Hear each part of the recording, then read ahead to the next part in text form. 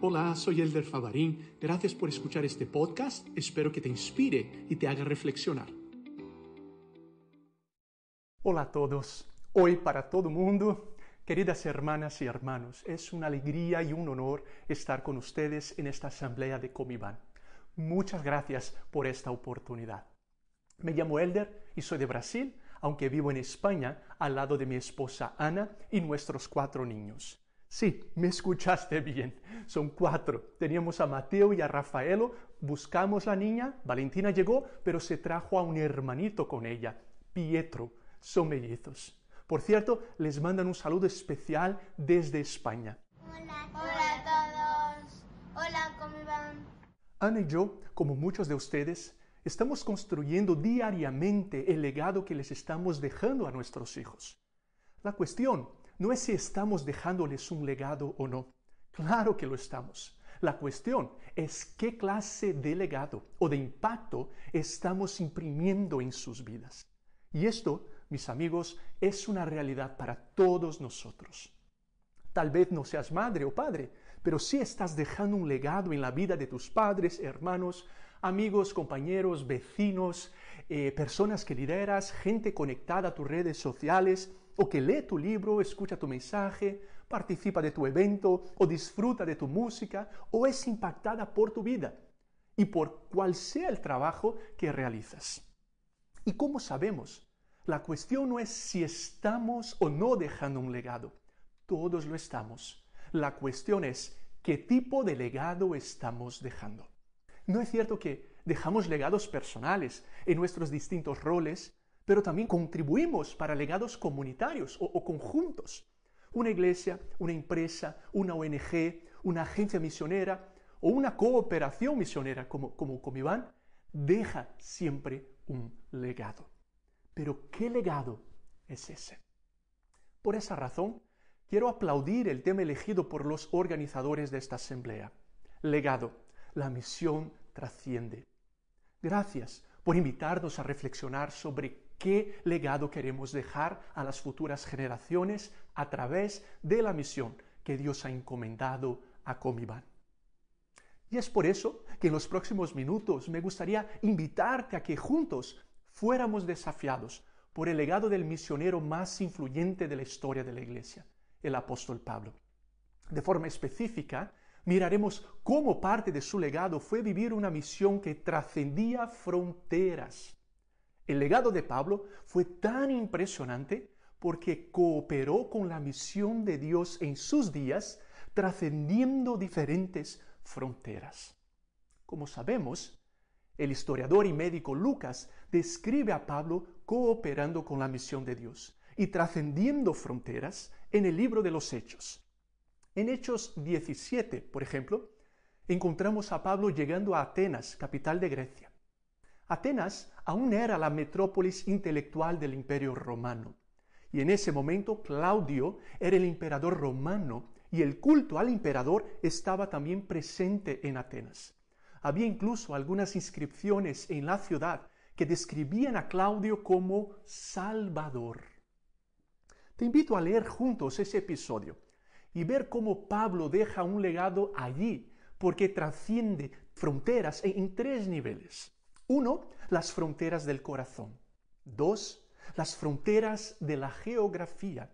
Y tres, las fronteras de la cosmovisión. Pasaremos brevemente por las dos primeras fronteras y acamparemos más tiempo en la tercera. ¿Te parece? Aunque me dijeras que no es lo que tengo preparado. Pero por favor, acompáñame en Hechos 17 a partir del versículo 16. ¿Estamos todos despiertos? Muy bien. Escribe Lucas en Hechos 17, 16. Mientras Pablo los esperaba en Atenas, le dolió en el alma ver que la ciudad estaba llena de ídolos. Paremos aquí un instante. A Pablo le dolió en el alma ver que la ciudad estaba llena de ídolos. Esto es interesante. La palabra griega que Lucas usa para describir lo que Pablo sintió es la misma palabra usada en la Septuaginta, la versión griega del Antiguo Testamento, para referirse a lo que Dios sentía por la idolatría de su pueblo. Un santo celo de parte de Dios. A Dios le provocaba una, una fuerte reacción, le dolía en el alma. Y ahora a Pablo le dolía en el alma ver que Dios no tenía el lugar que le pertenecía en Atenas. Y la pregunta que debemos hacernos es, ¿y a nosotros?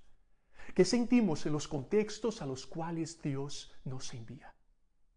Fíjate cómo, en primer lugar, Pablo trasciende las fronteras del corazón. Naturalmente, aparte del toque del Espíritu, no, sentiría lo que sintió, pero Dios le permite a Pablo sentir lo que él mismo siente. Me viene a la mente la oración de Bob Pierce, fundador de Visión Mundial. Señor, que mi corazón se quebrante por las cosas que quebrantan tu corazón. El doctor Steckel, psicólogo austríaco, escribió hace 100 años, lo opuesto al amor no es el odio, sino la indiferencia.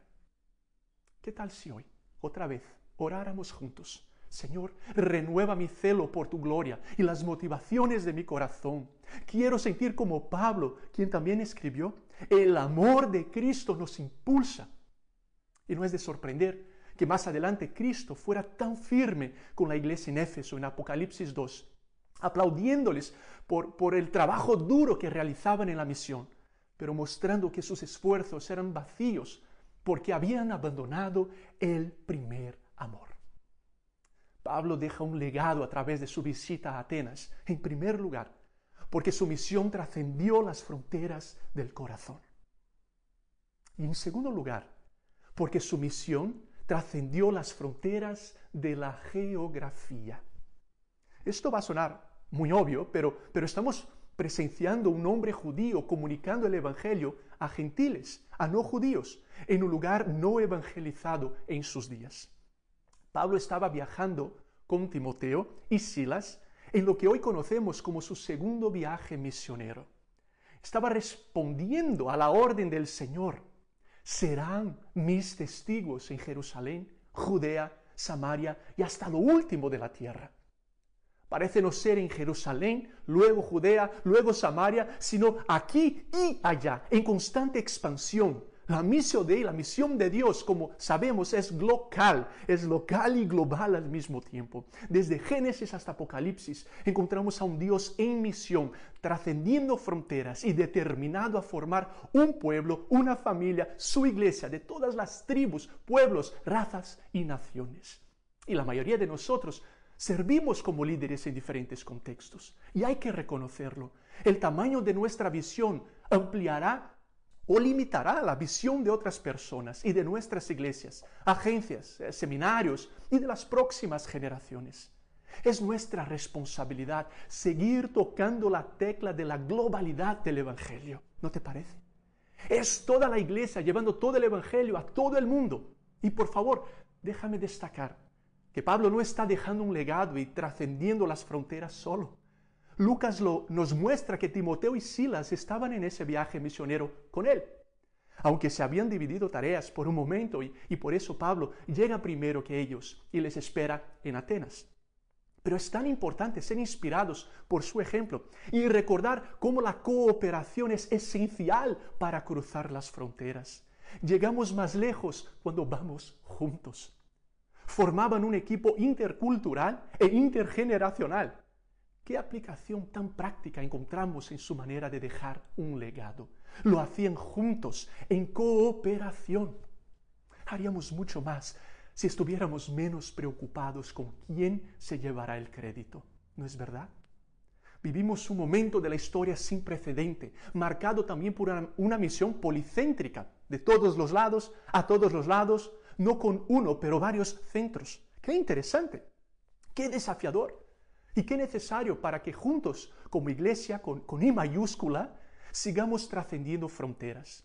Es por eso que los desafíos actuales requieren que, además de policéntrica, nuestra misión sea poligeneracional, polieclesial, polidenominacional, poliministerial, polivocacional y algunos polis más. Y eso suena bien en la teoría, ¿o no?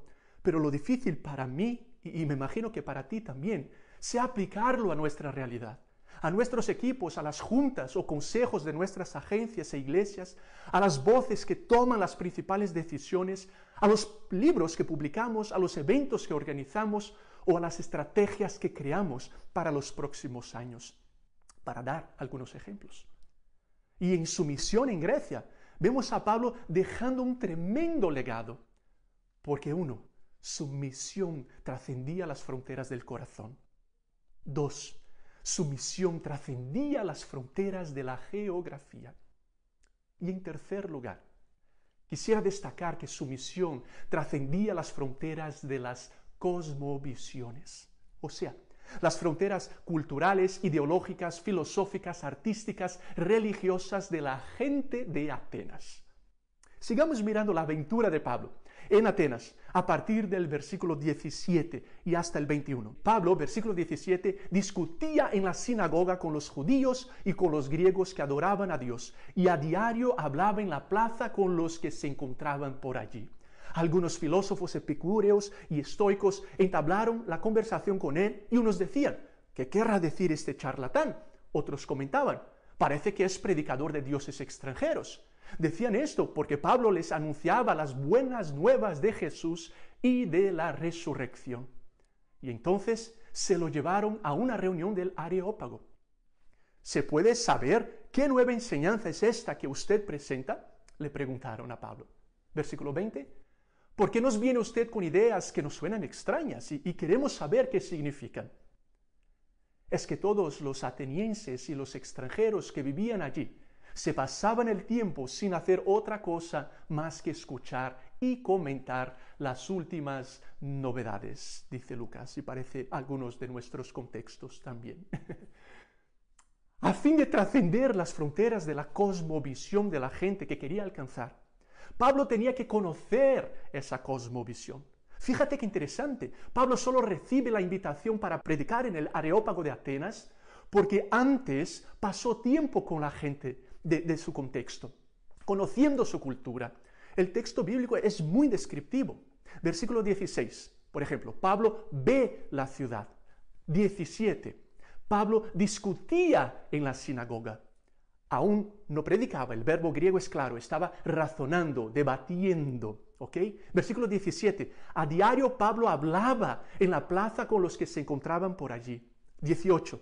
Algunos filósofos entablaron conversación con él. Qué interesante, ¿no te parece? Pablo ve, Pablo escucha, Pablo dialoga, Pablo conoce, Pablo está donde está la gente. Y su predicación es informada, alimentada por lo que ha visto, oído y dialogado. ¿Cómo construiremos puentes a Cristo si no sabemos de dónde debe salir ese puente? Si no sabemos dónde está la cultura, si no leemos nuestros tiempos. Nunca olvidaré profesor en el seminario que nos contó que por el camino donde conducía a diario en Rio de Janeiro, veía un letrero que decía, Jesús es la respuesta. Pero un día, pasando por ahí, alguien había escrito con un graffiti por encima, ¿y cuál es la pregunta? Como veremos en un momento, Pablo construye una cantidad de puentes con los atenienses, cita a sus poetas, conecta con su contexto y aprende sus preguntas. Su manera de desarrollar la misión me desafía. Por supuesto que aprendemos con nuestros estudiosos de la Biblia, teólogos, misiólogos y autores. Pero es también nuestra responsabilidad escuchar a los ateos, a los postcristianos, a los budistas, a los musulmanes, a los influencers de las redes sociales, a los gurús motivacionales, a músicos y poetas, a las series de Netflix, a nuestros amigos y vecinos no creyentes y también a las nuevas generaciones que están más cerca de esos cambios. Y entonces, solo entonces, Pablo tiene la oportunidad de predicar en el Areópago, o sea, ante el tribunal de gobernantes de Atenas, formado por gente muy influyente de la sociedad griega, donde ideas eran debatidas y promovidas. Y aquí un paréntesis. ¿Cuáles son los areópagos de nuestros días? Las redes sociales, por ejemplo, universidades, TED Talks, las plataformas de streaming como Netflix o Amazon Prime. Ahí debemos estar, trascendiendo nuestras fronteras cristianas y creando puentes, porque antes hemos escuchado, aprendido y conocido. Miremos, miremos ahora el contenido del sermón de Pablo. Después del sermón del monte de Jesús, por cierto, el sermón de Pablo en Atenas es, es posiblemente el discurso más estudiado de la historia. Burnett lo describe como el estudio prototípico de la contextualización que figura en el Nuevo Testamento. Leamos a partir del versículo 22. ¿Listos? Pablo se puso en medio del areópago y tomó la palabra. Ciudadanos atenienses, observo que ustedes son sumamente religiosos en todo lo que hacen. Al pasar y fijarme en sus lugares sagrados, encontré incluso un altar con esta inscripción a un Dios desconocido. Pues bien, eso que ustedes adoran como algo desconocido es lo que yo les anuncio. El Dios que hizo el mundo y todo lo que hay en él es Señor del cielo y de la tierra. No vive en templos construidos por hombres, ni se deja servir por manos humanas como si necesitara de algo.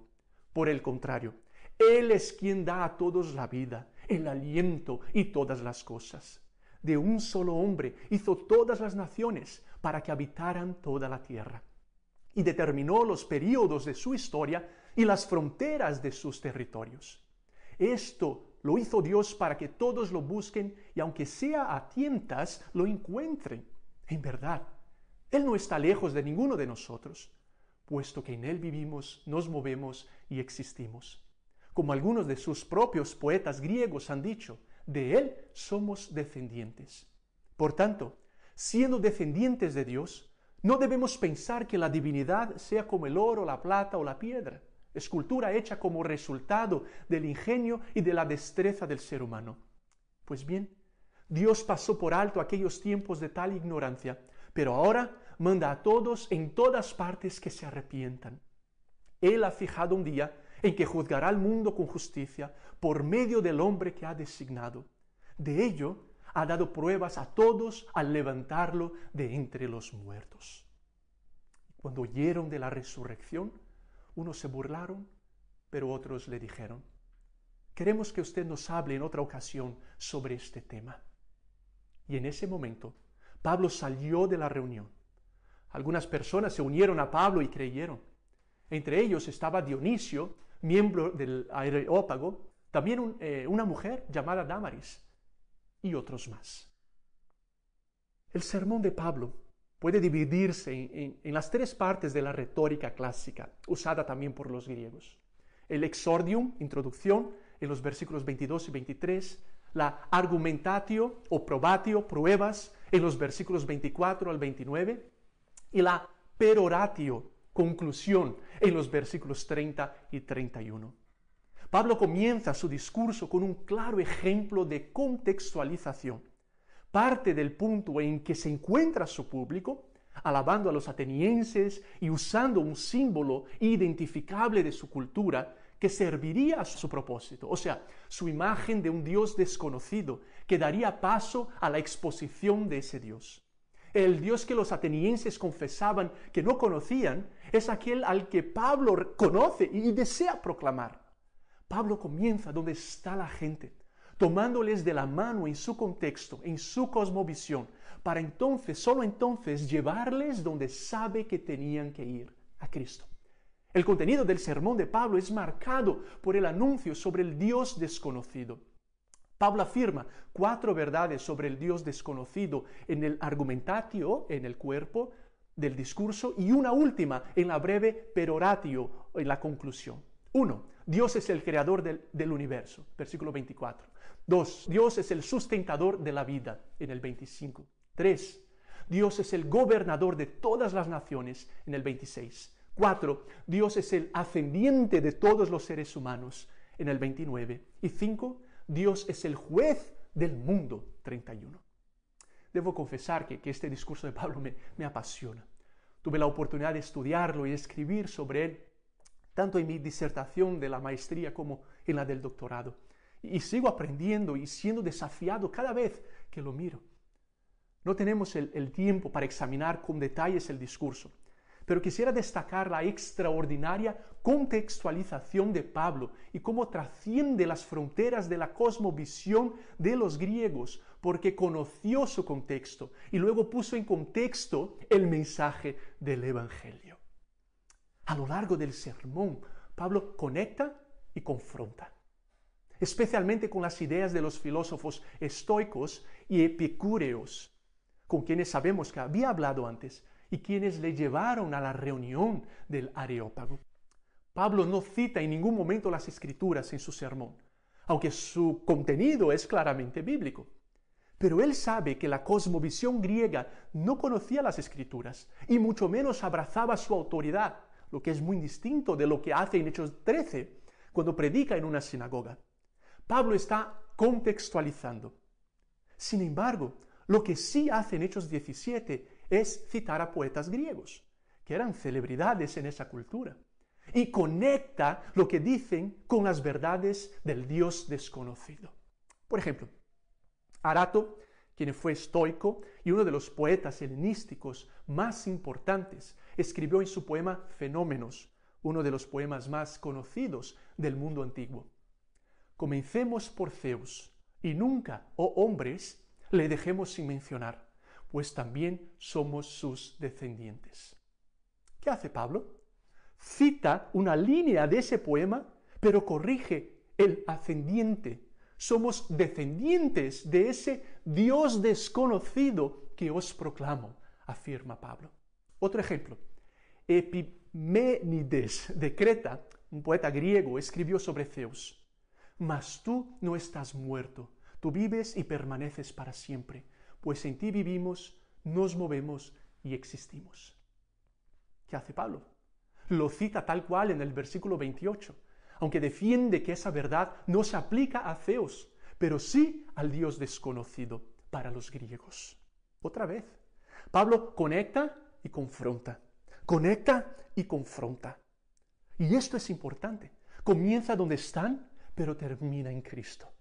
Les toma de la mano en su situación, pero les lleva hasta Cristo y a la necesidad de arrepentimiento de cara al juicio futuro de parte del Dios desconocido que les anunció como escribió Fleming. La genialidad de la contextualización evangelística en Hechos 17 es que el apóstol intencionadamente utiliza el lenguaje filosófico de su público no solo para establecer un terreno común, sino también para transformar la cosmovisión de ellos. Adopta una terminología familiar y le infunde un nuevo significado a la luz de la revelación bíblica y el suceso de Cristo como escribió Schnabel, la respuesta de Pablo a las creencias y a las prácticas religiosas de los atenienses no es una acomodación, sino una confrontación. Aunque emplea terminología que podrían entender fácilmente los intelectuales atenienses, y a pesar de muchas de sus afirmaciones y declaraciones son aceptables para, para al menos algunos miembros del Areópago, Pablo deja claro que rechaza la pluralidad de dioses y de cultos de Atenas. Queridas hermanas y hermanos, ¿qué significaría para nosotros hoy seguir el ejemplo de Pablo? ¿Hay algo que deberíamos considerar cambiar? ¿Qué olas está generando el Espíritu y nos invita a surfear en ellas? Dejar legado y cruzar fronteras significa también abandonar algunos caminos antiguos, formas que funcionaron en su momento pero que ya no son relevantes, ropas que antes nos quedaban bien pero, pero hoy no se ajustan a los nuevos contextos. Estaba terminando de, hablar en una conferencia, e hice una oración. Y mientras oraba me sucedió algo inesperado. Vi una imagen en mi mente de, de una chica sentada en un inodoro cerrado y tenía el pelo largo y miraba hacia abajo, tenía los brazos abiertos y pude ver varios cortes en sus muñecas y brazos. Al ver esa imagen mental, sentí que Dios me decía, esta chica se ha estado cortando, pero, pero no le he permitido que se mate porque la amo y tengo planes para su vida. Fue la única vez que, algo así me pasó y, sabes esos momentos cuando no estás seguro si, si es Dios o es algo de tu mente. En fin, en esos microsegundos concluí que era Dios y al terminar de orar le dije, si estás aquí, por favor ven a hablar conmigo. Bajé del escenario e inmediatamente un grupo de chicas se acercó y dejó a una de ellas. Esa chica temblaba y por unos dos minutos, recuerdo, y no podía hablar. Y nunca olvidaré cómo se levantó las mangas y me mostró los varios cortes en sus brazos, muñecas. Y luego dijo, yo soy esa chica. Y continuó diciendo, me he estado cortando y un día estaba a punto de terminar con mi vida cuando, cuando de repente escuché una voz que decía, para, no lo hagas. Estaba sola, así que dije, Dios, si ese eres tú, confírmamelo en esta conferencia a la cual iré. Y esa conferencia fue la que estaba hablando yo. Y pasó lo que pasó. Nuestro Dios está en misión y nos llama a seguir trascendiendo fronteras. Amigos, si amamos nuestras tradiciones más de lo que amamos a las nuevas generaciones, mantendremos nuestras tradiciones, pero perderemos a las nuevas generaciones. La misión de Dios por naturaleza trasciende. Y si no trasciende, no es la misión de Dios. Recordemos que Dios no cabe. Dios no cabe en nuestras cajas, Dios no cabe en nuestras ecuaciones, Dios no cabe en nuestros planes, Dios no cabe en nuestras canciones, Dios no cabe en nuestras denominaciones, Dios no cabe en nuestras iglesias, Dios no cabe en nuestras ideologías, Dios no cabe en nuestras filosofías, Dios no cabe en nuestras teologías, porque Dios es Dios. Desde siempre y para siempre Él es Dios. Dios trasciende y su misión trasciende. Y Pablo, hemos visto, dejó un tremendo legado para Atenas y para la historia, porque cooperó con Dios en una misión que trascendió las fronteras del corazón, trascendió las fronteras geográficas y trascendió las fronteras de las cosmovisiones de esa cultura. Sigamos sus pasos en este momento histórico en el siglo XXI. El conocido cantante Alejandro Sanz tiene una canción en la cual afirma, eh, si hay Dios, seguramente entiende de emoción. Queremos poner una tilde en ese sí y decirle a, a todo el mundo, sí hay Dios. Con corazones quebrantados y con valentía, con santa ambición, con humildad y con amor. Vayamos lejos, soñemos, trabajemos, innovemos, cooperemos, involucremos a otros, replanteemos, contextualicemos, probemos, intentemos y sigamos predicando y viviendo el eterno Evangelio de Cristo. Sigamos cooperando en la misión de nuestro Señor. Qué privilegio y qué responsabilidad. Muchas gracias por tu atención. Que Dios nos guíe y use a cada uno de nosotros. Un fuerte abrazo con mucho cariño. Hola de nuevo, gracias por escucharlo. Te invito a que lo compartas con otras personas y que estemos conectados por las redes sociales. Que Dios te guíe y te dé su paz.